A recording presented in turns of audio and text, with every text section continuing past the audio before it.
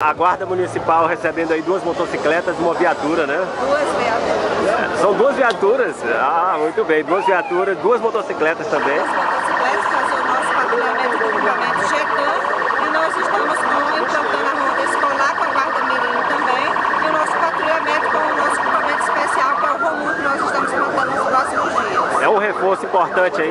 É um reforço importante para a segurança da nossa cidade nesse momento graças ao nosso prefeito que tem investido em olhar da segurança municipal pública com um olhar de realmente dar à nossa sociedade a segurança